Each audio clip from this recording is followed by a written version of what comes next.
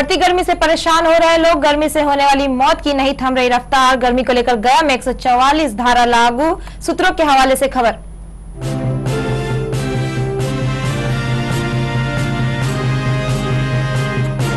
मोदी सरकार के दूसरे कार्यकाल में शुरू हुई संसदीय कार्यवाही। 26 जुलाई तक चलने वाले सत्र में 5 जुलाई को होगा बजट पेश। पारंपरिक पोशाक पहन सांसद गोपाल जी ठाकुर पहुँचे संसद।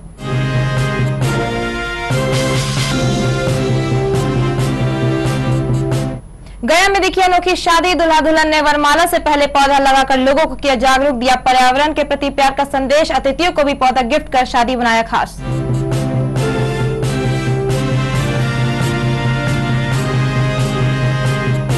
विश्व कप में भारत और पाकिस्तान को फिर दी मात, मैनचेस्टर के मैदान में भारतीय बल्लेबाजों ने पाकिस्तान को धोया, पाक को मिली बड़े अंतर से हार।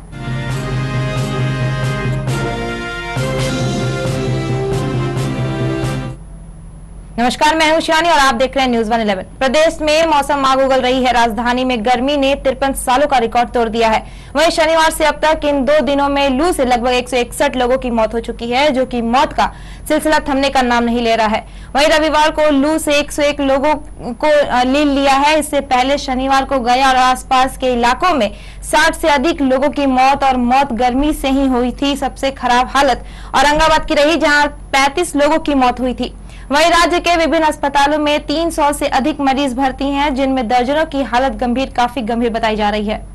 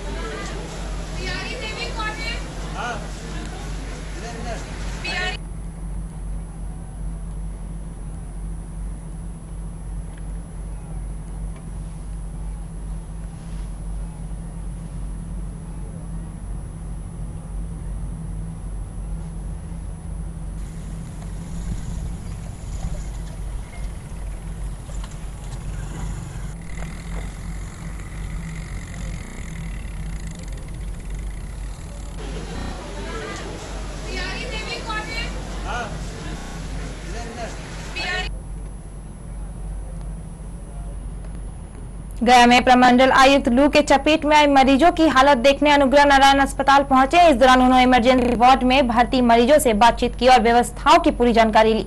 वहीं अस्पताल प्रशासन के अधिकारियों को आवश्यक निर्देश भी दिए गए। इस दौरान सूत्रों से खबर है कि गया में 11 बजे से शाम 5 बजे तक धारा 144 लागू की गई है। इस दौरान लोगों को घर से निकलने की अनुमति नहीं होगी। वहीं गया में गर्मी से अब तक साठ लोगों को लू लगने की वजह से मौत हो चुकी है, जिसके बाद ये आदेश जारी किए गए हैं और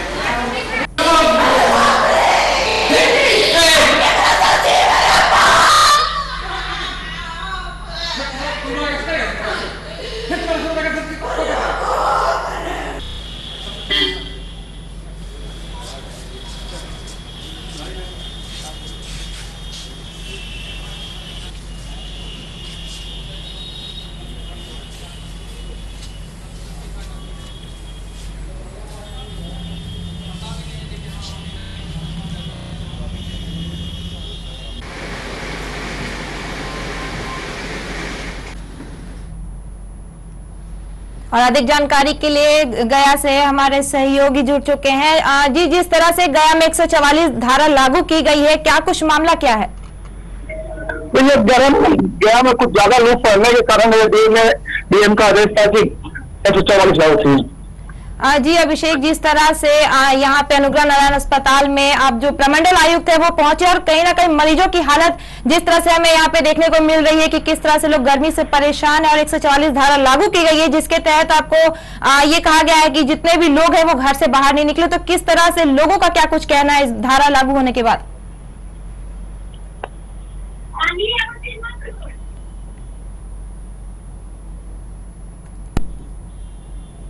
लगता है हमारा संपर्क टूट चुका है। हम आपको एक बार फिर बता दें कि गया में 144 धारा लागू कर दी गई है। बढ़ती गर्मी को देख के जिस तरह से आप देख सकते हैं विजुअल में किस तरह से लोग जो है वहाँ पे गर्मी से परेशान है अस्पतालों में। लोग कहीं ना कहीं गर्मी से लड़ रहे हैं और परिजनों को भी खासी ज़्यादा परेशानियों का सामना करना पड़ रहा है। इसमें बहुत ज़्यादा स्वेटिंग भी नहीं होता। हीट हीट स्ट्रोक में अगर पेशेंट ज़्यादा टाइम तक अगर सनलाइट के एक्सपोजर में रहा तो स्वेटिंग बहुत ज़्यादा नहीं होता। स्वेटिंग होगा नहीं तो बॉडी कूल नहीं हो पाता। कूल नहीं हो पाता है धीरे धीरे डिहाइड्रेट करने लगता है। डिहाइड्रेट करेगा तो बॉडी से सोडियम क्लोराइड जो भी इलेक्ट्रोलाइट है, उसका इम्बैलेंस होगा। तो उसके इम्बैलेंस से कार्डियक हार्ट पे अफेक्ट पड़ता है, उसका जितना सिस्टम है, वो पूरा गड़बड़ा जाता है। धीरे धीरे पेशेंट पूरा अनस्टेबल है। तो, तो इससे तो बचाने का तो एक ही तरीका है कि उसको फिर से कूलिंग कीजिए। जितना आइस में है टब में है तो उसमें डाल दीजिए। मैक्सिमम जितना पानी पिला सकते उतना पिलाइए। देखिए इसके लिए दो स्तर पर प्रयास किया जा रहा है। एक तो यहाँ पर इलाज की व्यवस्था। इलाज की समुचित व्यवस्था यहाँ पर जो नया बिल्डिंग बना है जो आप देख रहे हैं उसमें एयर कंडीशनर वगैरह लगा के उसको मरीजों के उपयुक्त बनाया गया है। उसमें ऑलरेडी बेड हमारे पास मौजूद हैं। अभी हमारे पास एक सौ छः मरीज़ एडमिटेड हैं जो इलाजरत हैं। सारे लोग खतरे से बाहर हैं कोई क्रिटिकल कंडीशन में नहीं है। और राउंड द क्लॉक डॉक्टर्स हैं यहाँ नर्सेज हैं, पटना से भी डॉक्टर्स का डेपुटेशन किया गया है। जिला अस्पताल से भी हम लोगों ने डॉक्टर्स बुलाए हैं पैरामेडिकल स्टाफ बुलाया है नर्सेज को बुलाया है। तो यहाँ पर मैन पावर की कोई कमी नहीं है मरीजों का बहुत अच्छी तरह से देखभाल किया जा रहा है। तो वहीं रोहतास के सासरा में लू की चपेट में आने से एक व्यक्ति की मौत हो गई। वहीं स्थानीय स्वास्थ्य केंद्र में इलाज के दौरान मरीज़ की स्थिति चिंताजनक बनी हुई थी, जिसे सदर अस्पताल लाने के क्रम में उसकी मौत हो गई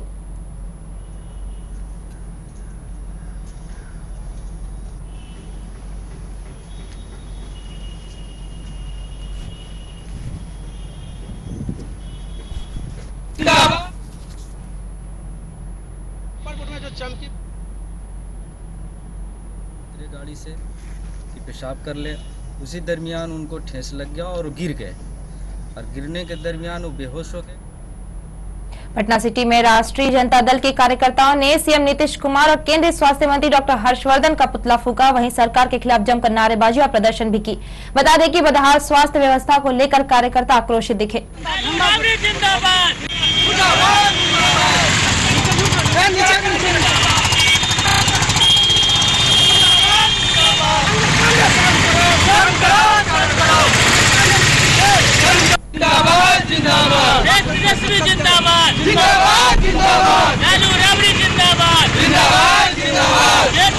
आज मुजफ्फरपुर में जो चमकी बुखार से बच्चा मर रहा है रोज, कितनी माओ की रोज सुनी हो रही है, कितनी की कोख उजर रहा है, और हमारी सरकार कोई ध्यान नहीं दे रही है। ये हमारे बिहार के मुखिया आदरणीय श्री नीतीश कुमार जी दिल्ली में जाकर सोए हुए हैं। अश्वनी कुमार चौबे जी भागलपुर में विजय जुलूस निकाल रहे हैं। यहाँ बिहार में मर रहा है बच्चा। रोज के रोज, घंटे घंटे मर रहा है। वहीं कल शाम राजद प्रदेश अध्यक्ष रामचंद्र पूर्वे ने पार्टी के प्रदेश कार्यालय में प्रेस कॉन्फ्रेंस का आयोजन किया, जहाँ उन्होंने चमकी बुखार और गर्मी से हो रही मौतों पर सरकार को आड़े हाथों लिया। वहीं उन्होंने कहा कि पूरा प्रदेश सूखे की चपेट में है और लोगों को पीने के लिए पानी भी नहीं मिल रहा है और सरकार नींद से सो रही है। आईसीयू, पहली दफे हमने देखा कि साहब एक बेड पर तीन तीन बच्चे आईसीयू में हैं। बहुत सारे बच्चे को आईसीयू में जगह नहीं मिला तो जनरल वार्ड में उसका ट्रीटमेंट चल रहा है। बिल्डिंग बन चुका है, लेकिन लैब जो है सो वैसे ही पड़ा हुआ है, कहीं पर कोई उसका उपकरण वगैरह नहीं है। तीसरी बात, जब कोई आपदा आता है, चाहे बाढ़ हो, चाहे बाढ़ की स्थिति में आप सभी जगह स्पेशल मजिस्ट्रेट बहाल किए जाते हैं। खास करके जब कोई तनाव की स्थिति होती है तो स्पेशल मजिस्ट्रेट बहाल की जाती है। लेकिन वहाँ पर कोई स्पेशलिस्ट डॉक्टर को के, केंद्र सरकार या राज्य सरकार के द्वारा भेजा जाए इस तरह की बात अभी तक वहाँ पर नहीं हुई है।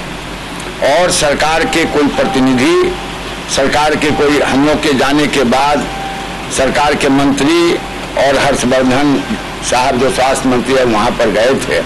सबसे बड़ी चीज़ जो हमने पाया, हमने सोचा कि इतने बच्चे जो यहाँ पर एडमिटेड हैं, उन बच्चों में क्या मेरे कोई खानदान का बच्चा है कि नहीं?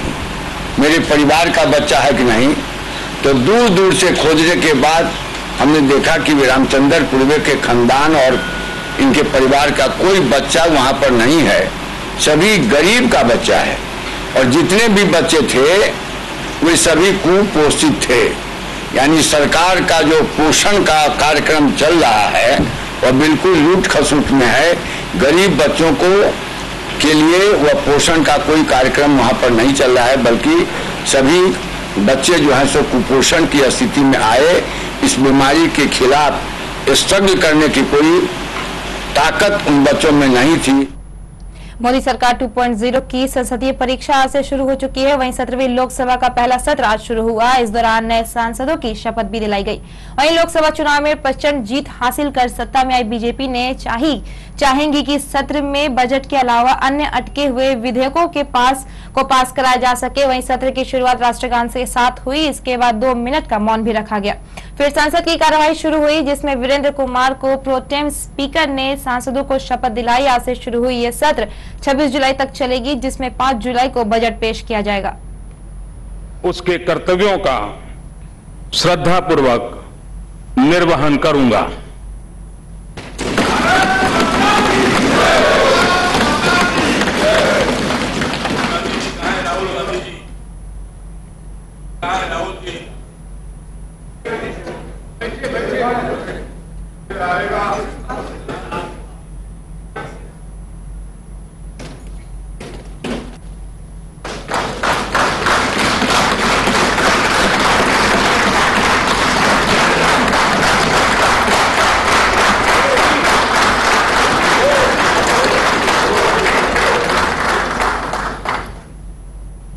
उसके वहीं सत्र की शुरुआत से पहले पीएम मोदी ने पत्रकारों को संबोधित किया, जहाँ उन्होंने देश के लोगों और लोकतंत्र के साथ ही विपक्ष पर, विपक्ष को भी लेकर बोला।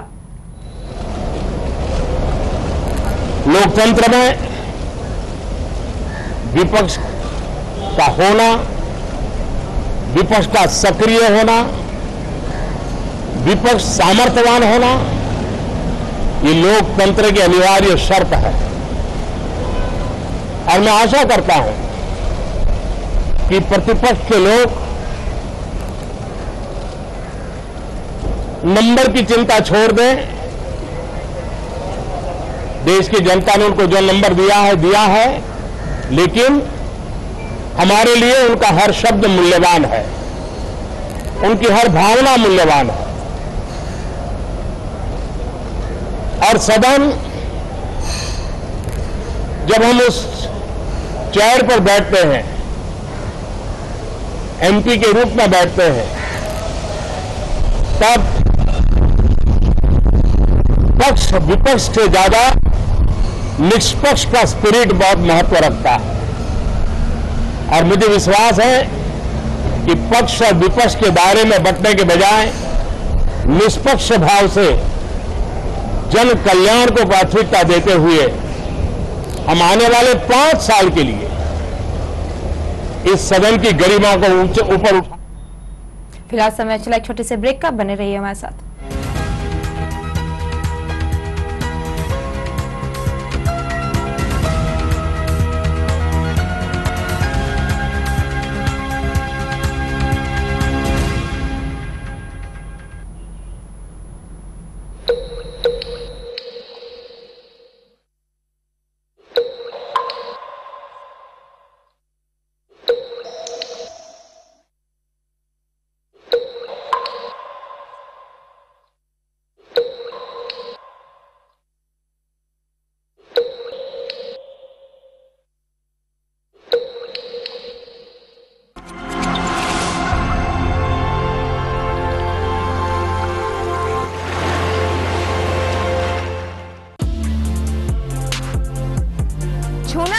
आसमानों को तो बैंकर अड्डा है ना?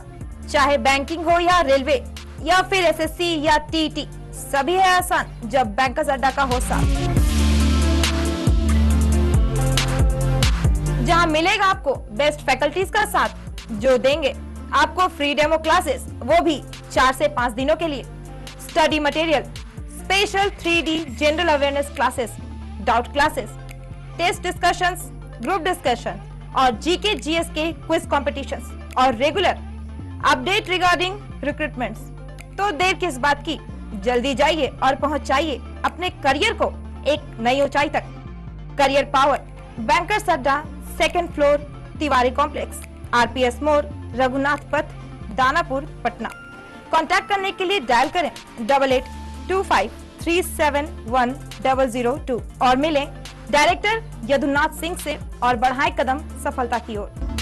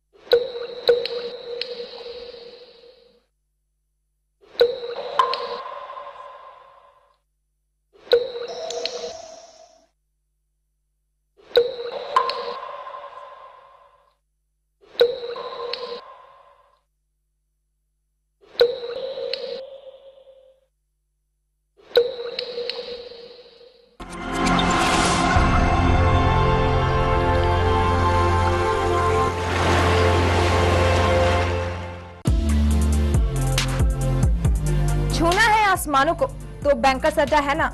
चाहे बैंकिंग हो या रेलवे या फिर एसएससी या टीटी सभी है आसान जब बैंकर्स अड्डा का हो साथ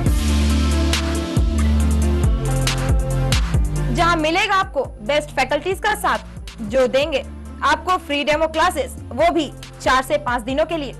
Study material special three D general awareness classes doubt classes test discussions group discussion और जीके जीएस के क्विज कॉम्पिटिशन और रेगुलर अपडेट रिगार्डिंग रिक्रूटमेंट्स तो देर किस बात की? जल्दी जाइए और पहुंचाइए अपने करियर को एक नई ऊंचाई तक. Career power banker Adda second floor Tiwari complex RPS मोर रघुनाथ पथ दानापुर पटना कांटेक्ट करने के लिए डायल करें double eight two five three seven one double zero two और मिलें डायरेक्टर यदुनाथ सिंह से और बढ़ाए कदम सफलता की ओर।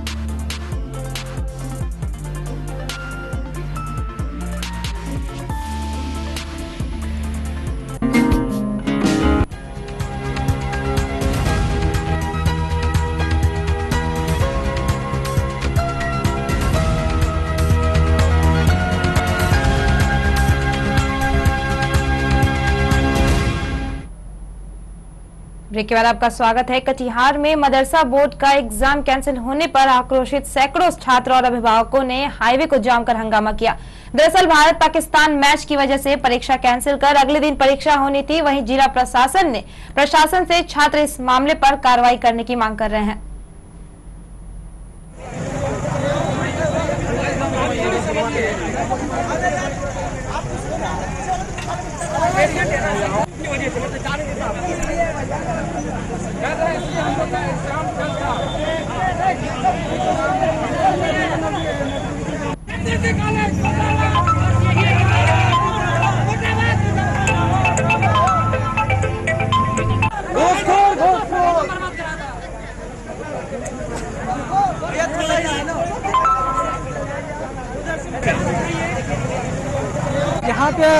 तारीख को एग्ज़ाम देने के लिए आए थे बच्चे।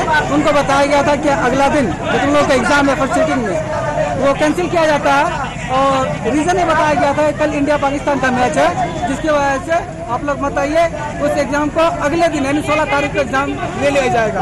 आज सत्रह तारीख को एग्ज़ाम ले लिया जाएगा। और ऐलान यहाँ पे लगाया गया सोलह तारीख को, जबकि हम लोग को पंद्रह तारीख को बता दिया गया था कि आप लोग को सोलह तारीख को नहीं आना है, लेकिन ऐलान लगाया है उसके बाद।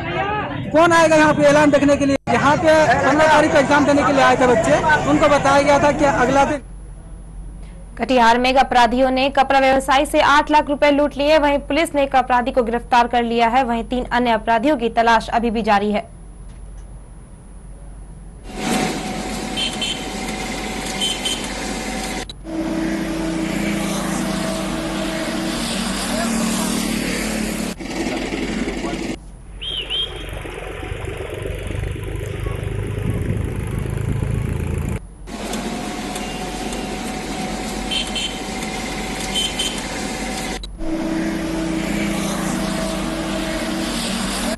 से बाज़ार से निकल रहे थे भागलपुर की ओर जा रहे थे। रास्ते में दो बाइक वाला ओवरटेक किया हमको और कहाँ चारों पे कुर्सेलापुर से पहले। अच्छा। और चारों के हाथ में बंदूक था चारों ने मेरे दो गो आगे से जा मतलब कि दो एक गाड़ी आगे मेरे एकदम सटा के गाड़ी रोका और उसने मेरे कनपट्टी में और मेरे साथ एक आदमी उनके ऊपर बंदूक तान दिया और जब गाड़ी गाड़ी क्लोज करने लगे मारपीट किए थोड़े बहुत और मेरे से बैग छीन लिया।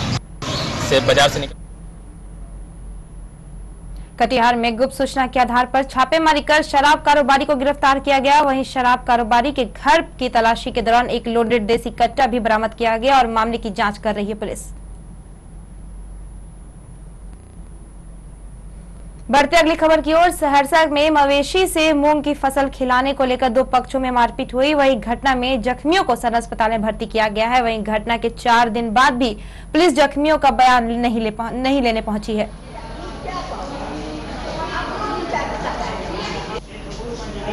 वहाँ पे उस बच्चे को मारा पीटा गया इनके बच्चे को। मारा पीटा गया तो मारने पीटने के बाद कौन कौन मारा? महेंद्र यादव कितने की संख्या कुमार। कितने की संख्या में? आरा में अपराधियों ने दंपति को गोली मारकर जख्मी कर दिया। वहीं घटना की सूचना मिलते ही मौके पर पहुँची पुलिस। मामले की जाँच में जुट गई है।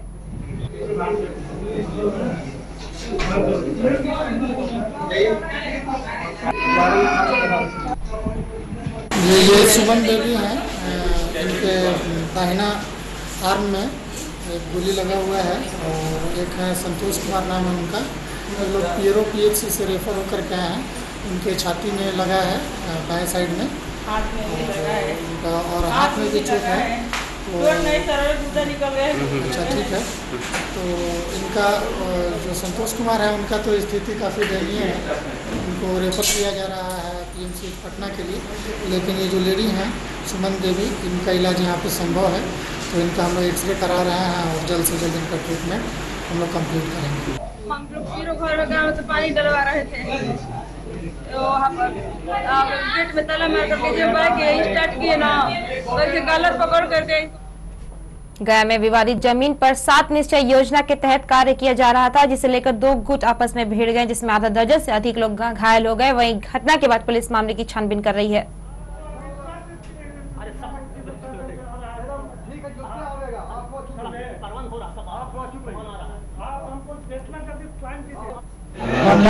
पानी जा रहा हम देखा उसमें बड़ी मार मारी से राजेंद्र सिंह, बड़ी बाले बच्चे मिल के सिद्धि सिंह और बड़ी लोग के मारी से।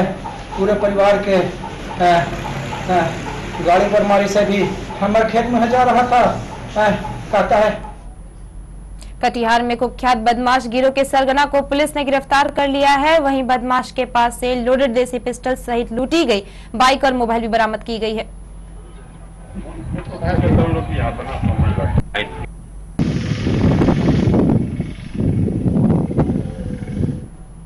सासाराम के रामारानी बालिका उच्च विद्यालय में चल रहे वन रक्षी भर्ती परीक्षा के दौरान राजीव नाम के युवक को पुलिस ने गिरफ़्तार किया है, जिस पर आरोप है कि वह फर्जी तरीके से अपने दोस्त की परीक्षा दे रहा था। वही पुलिस मामले की जानकारी के लिए राजीव और उसके दोस्त अजीत से जानकारी जुटा रही है।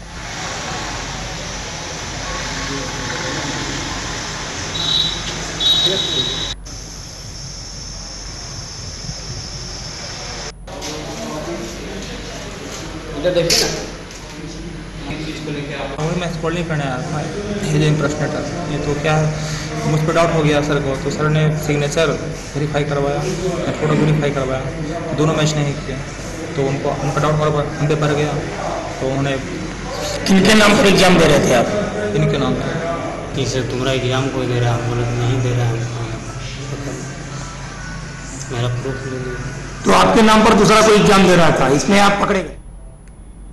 मनिया शरीफ दरगाह परिसर में सूफी महोत्सव का आयोजन किया गया, जिसका उद्घाटन स्थानीय विधायक और जिलाधिकारी ने किया। वहीं सूफी महोत्सव में भीड़ कम देखने को मिली।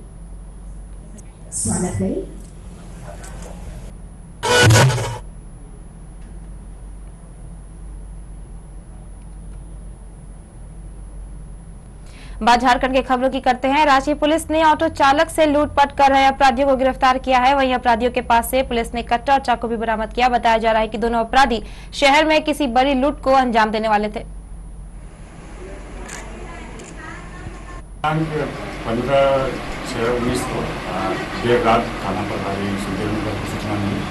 मिली।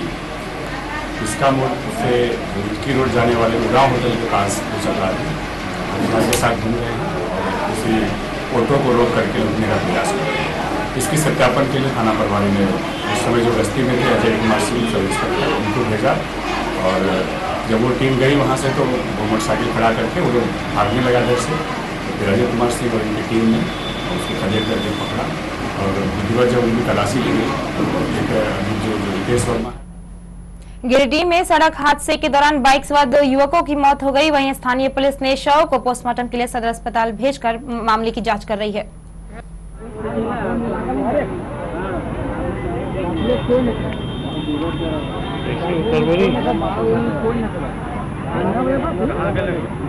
रोड में बगोदर थाना क्षेत्र के आवरा गाँव के समीप पुल के में अनियंत्रित बाइक के गिरने से दो व्यक्तियों की मृत्यु हो गई है।